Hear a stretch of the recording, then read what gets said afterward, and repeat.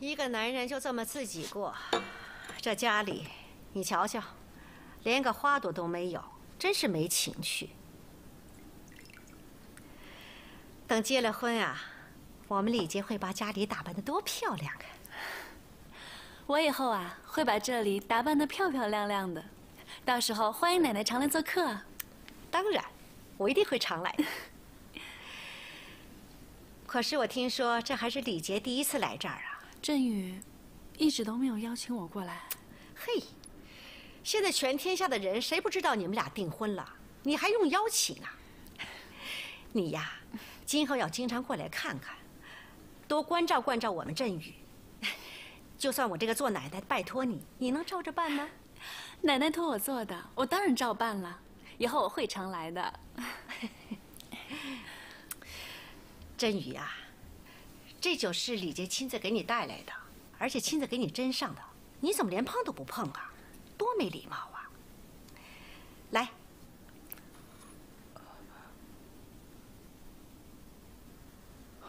我一会儿还要开车送奶奶回去呢。哎呀，不用了，待会儿我自己回去就好了。来呀，快呀！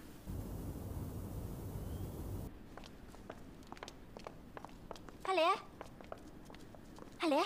爱莲，店长，大哥，你真在这睡着了？看你瘦的。李一龙给我们打电话，让我们早点过来。他说你有可能会在这里，没想到你真在这睡着了。他猜对了。嗯，真是的。快拿出来吧，快吃吧。来来，我们给你带了一些早餐。那还有呢？这是咸菜，这是粥，谢谢。赶紧吃吧，工作狂小姐，我们早就吃过了。爱莲，这是你做的吗？啊，这是你做的吗？嗯，太棒了！哇，完全想不到。我真的看不出来这是咱们自己的商场啊！你好厉害呀！Very professional，真的非常酷，非常酷。谢谢。明早要举行开业典礼的话，有什么需要我们帮忙的吗？啊，不用。有你这句话，我已经很感激了，谢谢。太客气了。哦，对了，那我们赶紧走吧，你赶快吃早餐啊！啊，好，走了。那我们走了，拜拜，拜拜。一定能如期完工。当然要那么做了。新阳，嗯，有头痛药吗？有。是不是工程太费神了呀？不是因为工程的事，可能是。昨天晚上和振宇的奶奶一起到振宇的公寓，喝了杯葡萄酒，可能我喝多了。我去吃药，马上回来。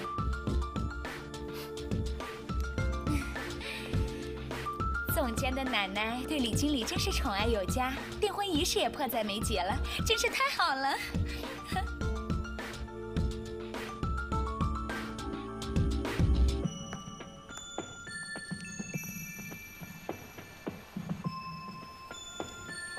就算张生爱的是你徐爱莲，我也不在乎。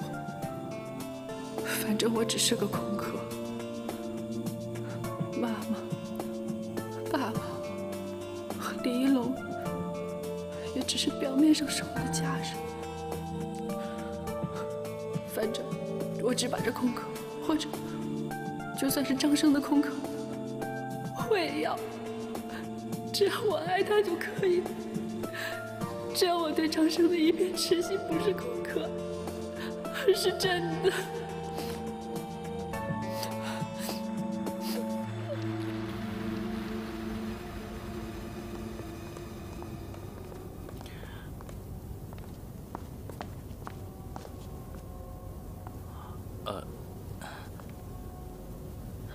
昨天没能守约，真是对不起啊。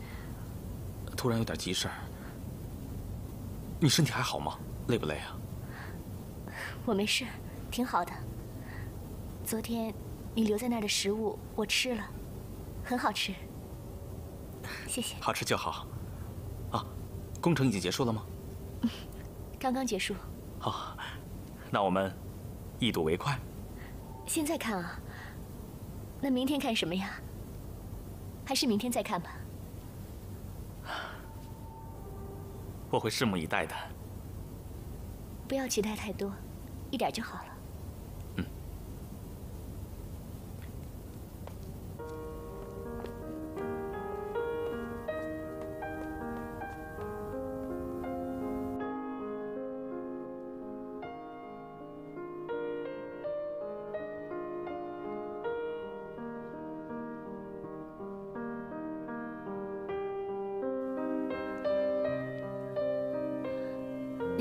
说的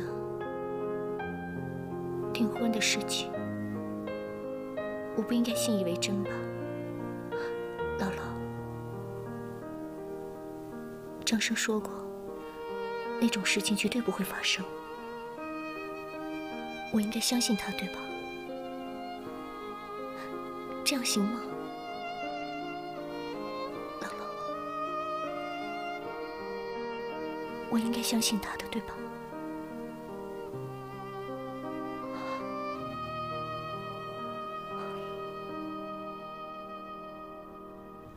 那么，装修工程竣工的现场就要正式跟大家见面了。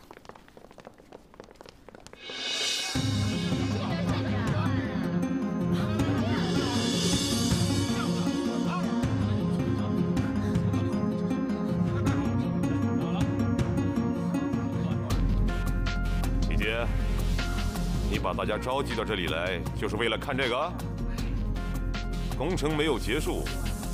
开幕典礼完全可以推迟。我接到了报告说，工程已经圆满竣工了，所以才按照原定计划进行了开幕仪式。真是很抱歉，徐爱莲小姐，这到底是怎么回事？你不是说工程已经圆满竣工了吗？怎么现在是这个样子？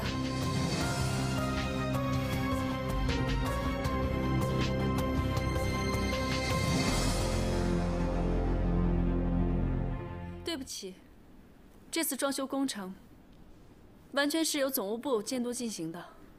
我作为经理，我将全权负责。李杰说的对，这件事情就是应该由主管领导负责。我会尽快递交辞职报告，并且离开蓝色港湾。哎，那个，从一开始就由徐爱莲小姐主动承担并进行了此项工程，李杰经理。为了授权给徐爱莲小姐，还把她提升为主管。嗯，公平的来讲，这件事情不该是李杰经理，而应该由徐爱莲主管负全责才对。呃，让徐爱莲小姐递交辞呈，此事儿就可以了结了吧？好，就这么定了吧。向徐爱莲通知此项决定，并让她辞职吧。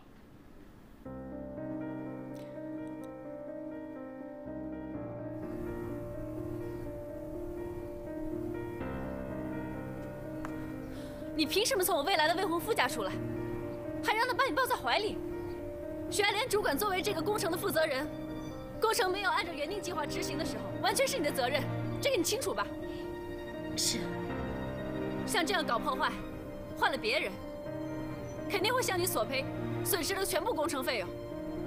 让你辞职就了结此事，你应该感到庆幸才对。不行啊，我不能辞职的。有什么不能的？我昨天晚上离开商店的时候，所有工程都是按照计划完成的。可是今天，真的不是我弄的，请你相信我，不是我搞砸的。姐姐把工程搞砸了，恐怕又在挨训呢。此时，副总裁、副总经理还有总监都已经达成了共识，限你今天之内递交辞呈，然后悄悄走人。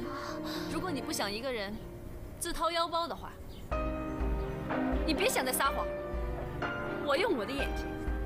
清清楚楚的看到，我不想撒谎。我是因为做钟点工，所以才会去振宇的公寓的。我是去打扫卫生。什么？做钟点工？你？为什么？为什么偏偏是你？以后再也不要去了，下不为例。我知道，我以后不会再去了。可是这次，请你相信我，真的不是我搞砸的，我不能辞职啊！事情就这么定了，请你马上离开公司。还有，你自己说过的话，请你信守承诺。如果你再去振宇的公寓的话，到时候不是我，而是振宇的奶奶，不会轻易放过你的。李杰经理，求你了，我不能辞职。我说过的话，你好好记着。求求你，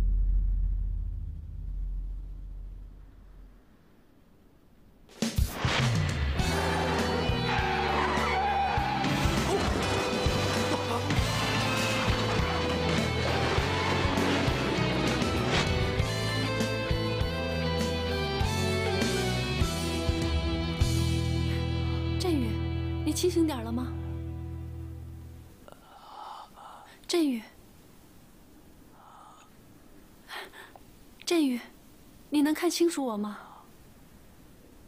知道我是谁吗？我知道。这是哪儿？是医院，差点出了大事。是怎么回事？是模特衣架掉下来砸到了你，头部都出血了。不过还好，刚才到急诊室，很快就处理好了。以防万一，又做了几项检查，傍晚的时候就能出结果。检查结果那么快就能出来？医院的院长是我爸爸的好朋友，他看我那么担心，所以就破例做了这件事情。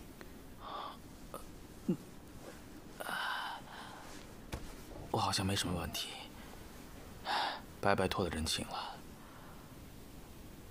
可是，模特架为什么会突然掉下来呢？那个，我跟徐安莲小姐说，让她递交辞呈，然后徐安莲小姐说她不能这么做，情绪特别激动，大喊大叫，还一边把我推倒在地，并用模特一下来砸我。我就摔倒了。如果没有摔倒的话，模特一下也不会掉下来。徐爱莲小姐真的那么做了吗？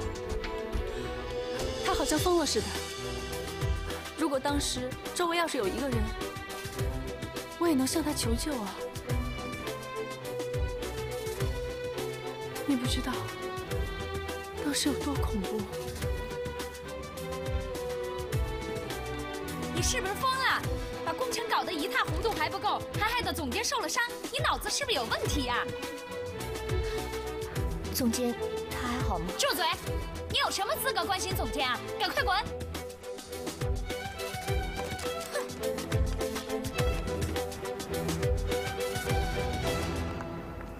阿莲，你们别这么看着我，我没事。你们没有听说总监的消息吗？总部也没有接到任何消息。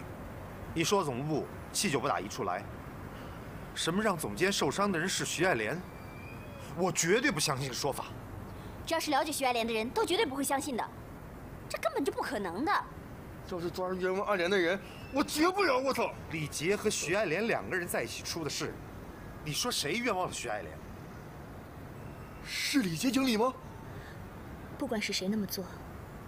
都不是故意想让总监受伤的，大宝，托尼大哥，店长，我不想把事情闹大，你们就别再声张了。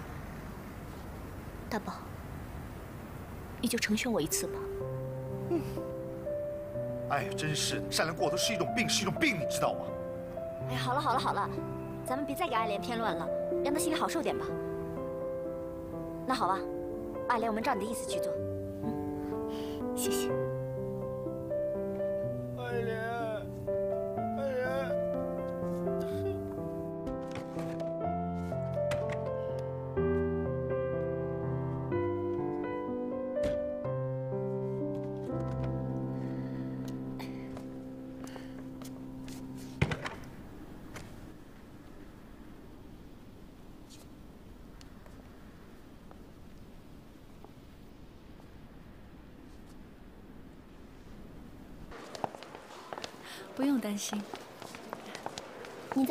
下。啊。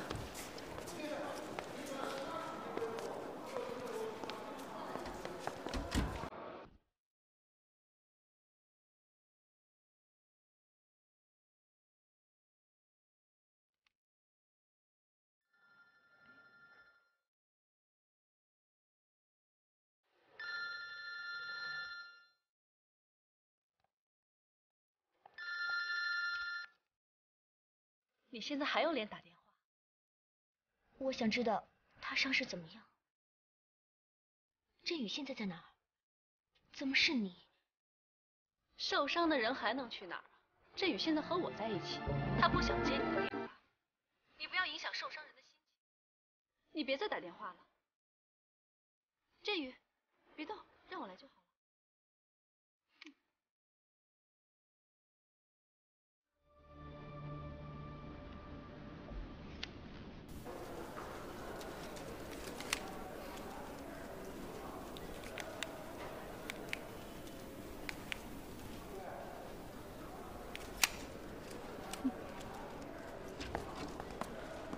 检查结果怎么样？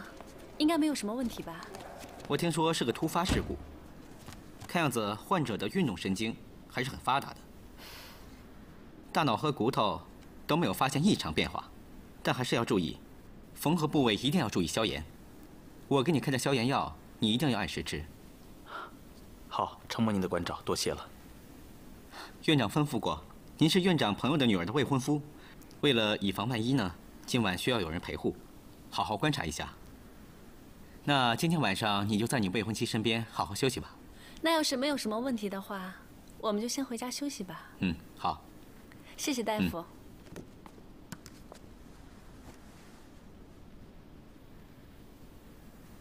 振宇一定以为是我让他受伤的。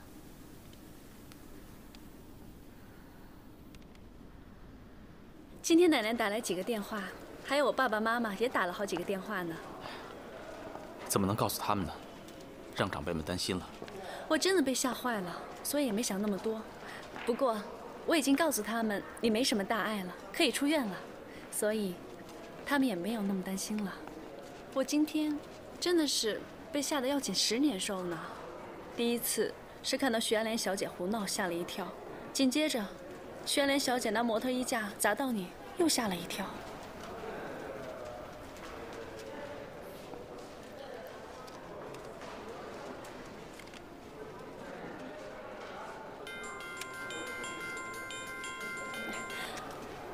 奶奶，对，我们现在正在回振宇公寓的路上呢。是，都听您的。好，奶奶，再见。奶奶也说，今天晚上不能让振宇一个人待着。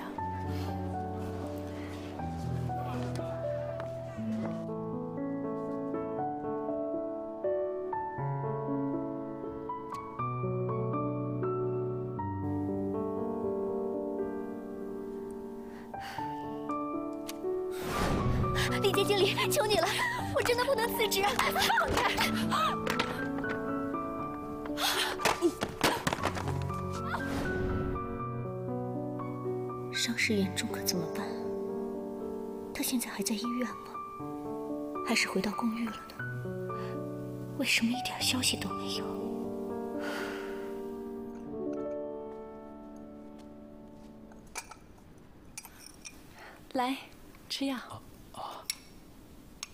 谢谢啊。小心烫。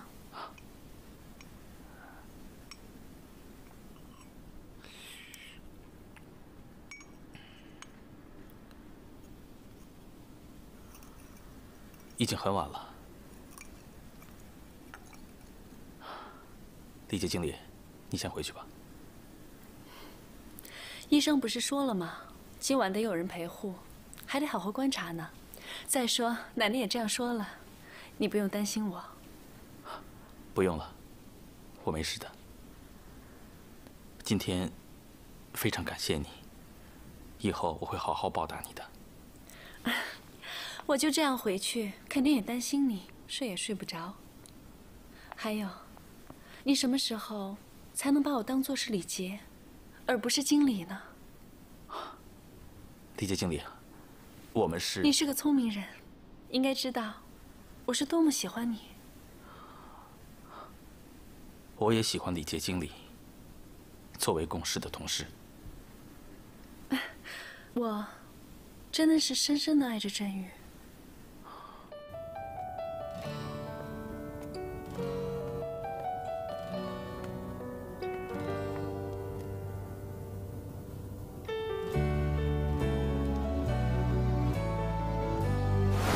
现在和我在一起，他现在不想接你的电话。你不要影响受伤人的心情，不要再给他打电话。振宇，别动，让我来就好了。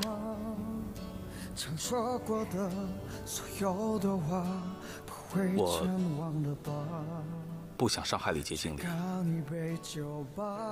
错误的事情是不能做的。为什么我们订婚是错误的事啊？因为我爱的人。不是李杰经理，我不能撇下那个人和李杰经理订婚。为了那个人，也为了李杰经理，订婚一事就算了吧。我不知道你心里面到底爱的人是谁，但是只有我们订婚，才是真的为我好。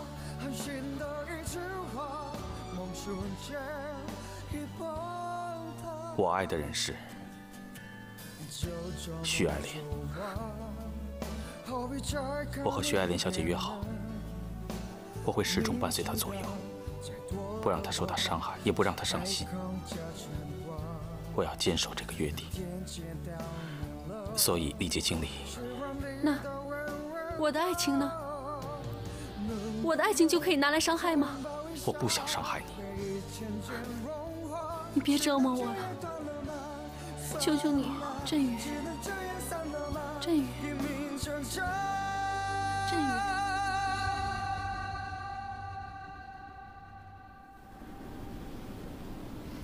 振宇，爱莲。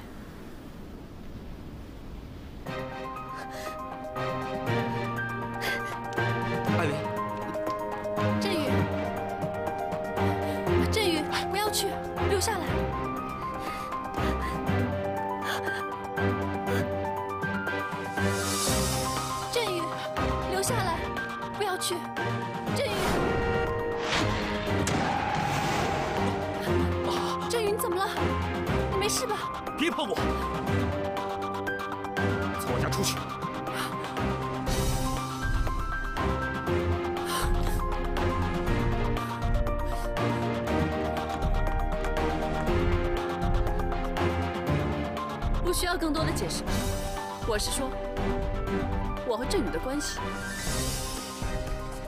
以后你不要出现在百货商场和这个公寓面前了。你看到他不接你电话，你还不明白？你看到他那样搂着我，你也不明白？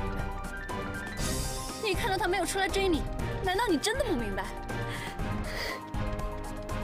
振宇让我出来告诉你，他说。亲口告诉你，才能明白。看样子，振宇早就知道你脑子不好使。什么意思？是振宇让我出来告诉你。他说，从今往后，他不想再看见你，让你不要出现在他面前。什什么？你让我再告诉你一遍吗？他说他再也不想见到你，让你永远不要出现在他面前。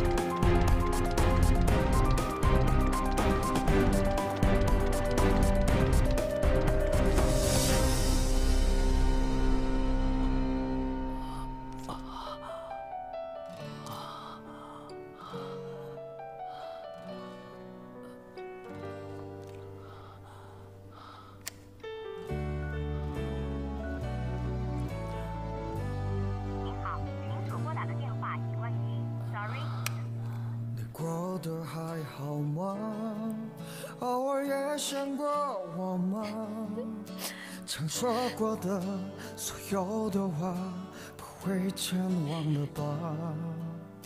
再干一杯酒吧，怎么却更想你了？一起看过最美丽的花，也已凋谢了，那就这样断了吧，算了，那就这样忘了吧，伤疤密密麻麻是爱你的代价，那就这样伤了吧，心啊，那就这样散了吧，拼命挣扎。只留下狠心的一句话，梦醒前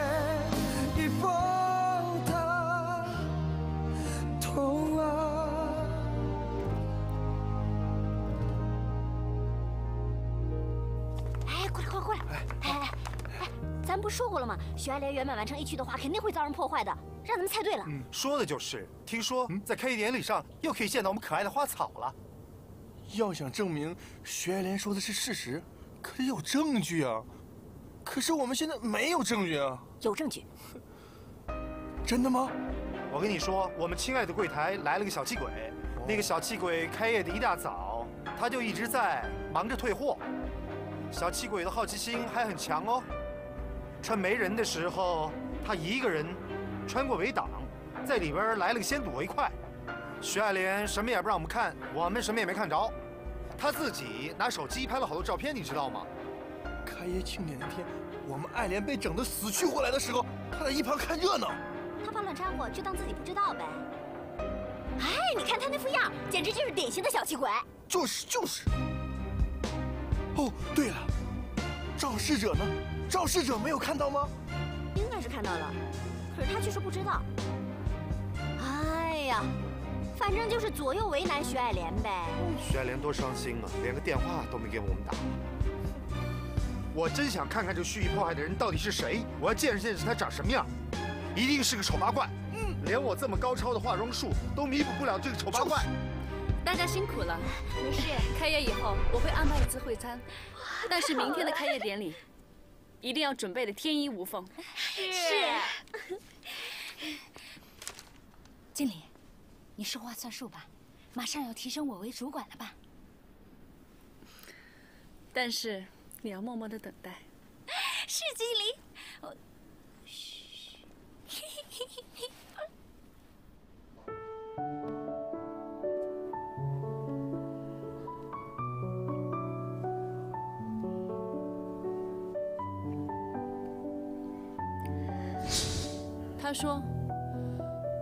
从今往后，他不想再看见你，让你不要出现在他面前。”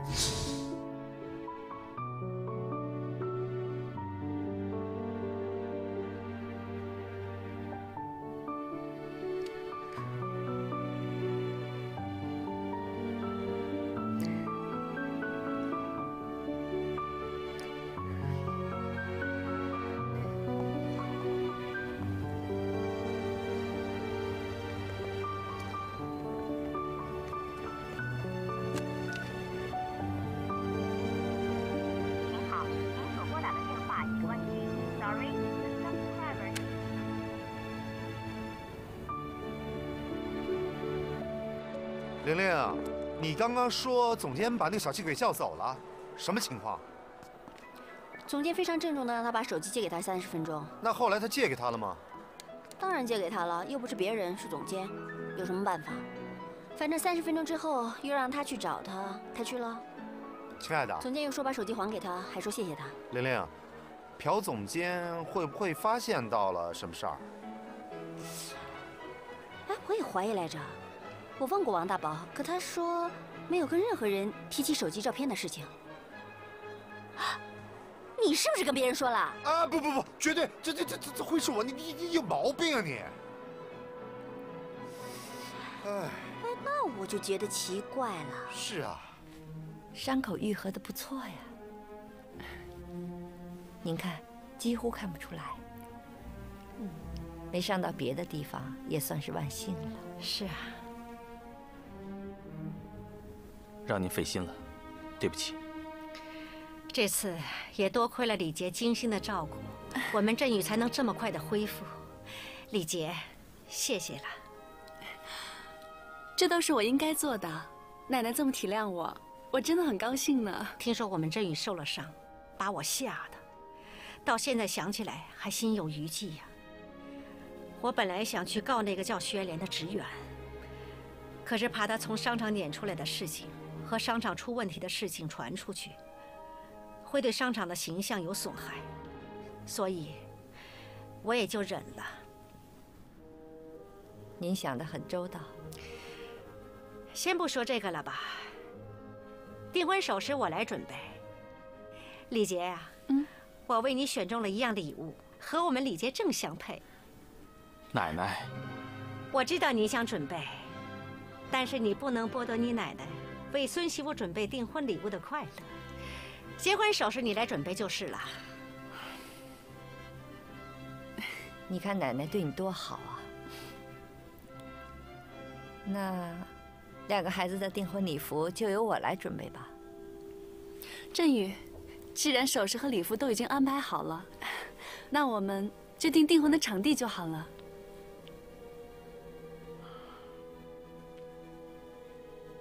小杰呀，嗯，订婚场地你爸爸讲过，他会去预定的。真的，你们尽管放心好了。真是太好了。那我和振宇就等着结婚的日子到来就好了。夫人，我有话想对您说。我和李杰经理的订婚仪式。哎，对了，振宇，在韩国。今天早上早间报道刊登了你们订婚的消息，我也是出来之前在网上看到的，哎，还选了你和振宇的靓照刊登了。前些日子《经济周刊》刊登他们的订婚消息，您看到了吧？看过了，写的很好，小杰爸爸也很满意。那个报道是个误会，我是不会和李杰经理订婚的。报道资料一准备好，我就会刊登声明更正的。对不起几位，我有事先告辞了。振宇，振宇，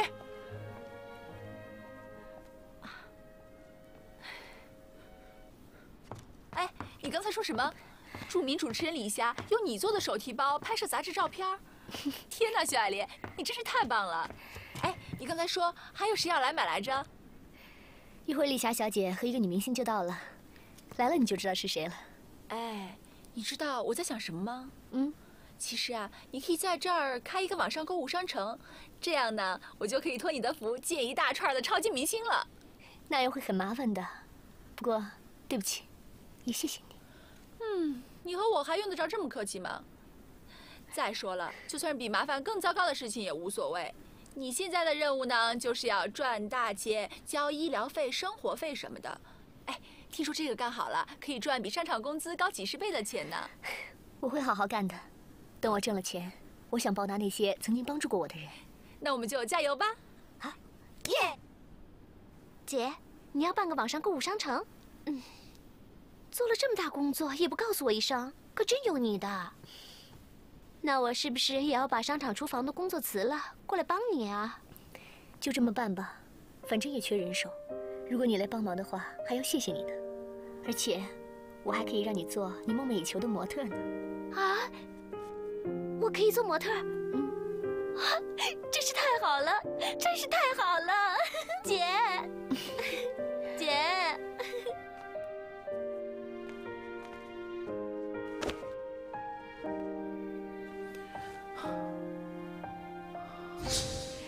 韩国，今天早上早间报道刊登了你们订婚的消息。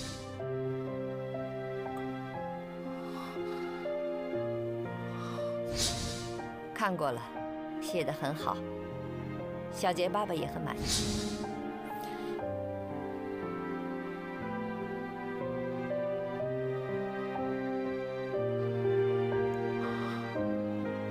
宵夜做好了，快来吃吧。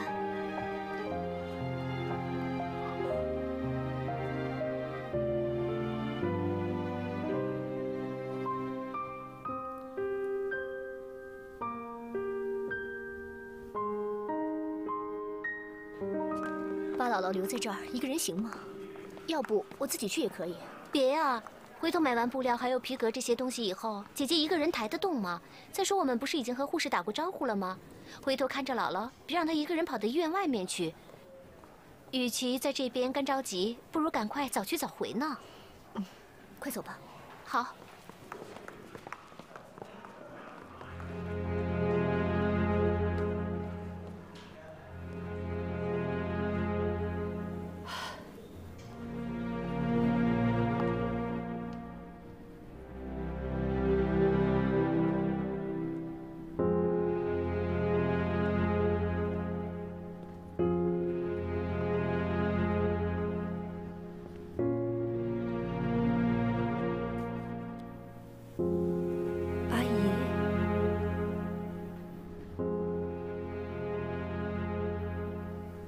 谁呀？是我，于西瑶。于西瑶。啊。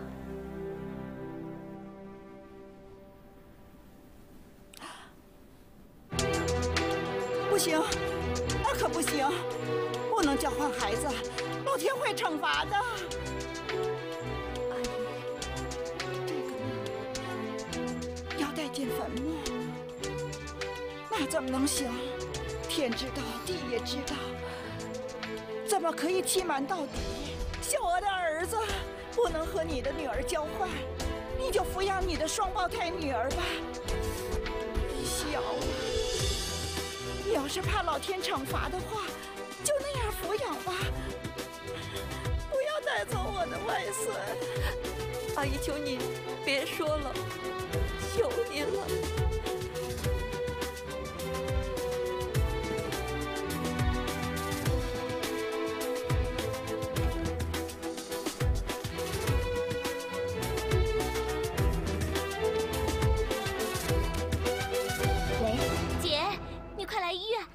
醒过来了，他在找你呢。姥姥找我，我这就过来。姥姥，姥姥，你认得我吗？你能认出我是谁吗？爱莲，对，我是爱莲啊，我是爱莲，我是徐爱莲呢。爱莲，我们可爱的莲。对，我就是可爱的徐爱莲。那，那他呢？他是亚飞，你认得吗？他是您的心肝宝贝徐亚飞呀。认得。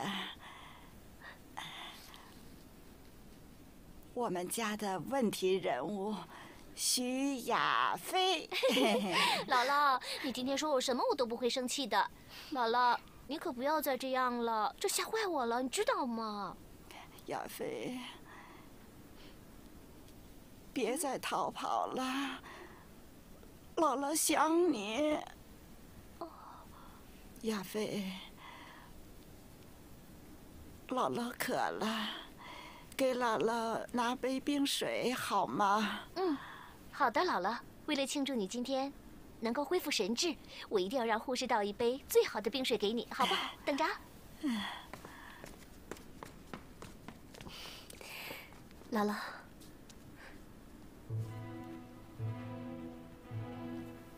爱莲，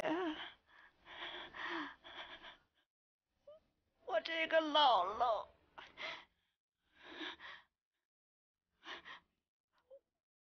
我这个造了孽的姥姥，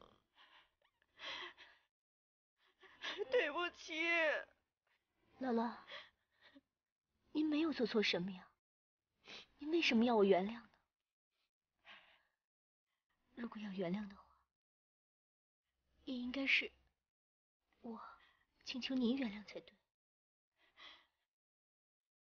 您那么辛苦，把我们带大，我没有好好照顾你，真的很抱歉，没有让您安享晚年，真对不起。姥姥，我和亚飞会照顾您的。以后您可要健健康康的活下来，这样才行，对吗？爱莲，我的宝贝，这么善良、这么漂亮的爱莲，却因为我，对不起，都是我原谅。姥姥姥姥你怎么了？姥姥你怎么了你去叫大夫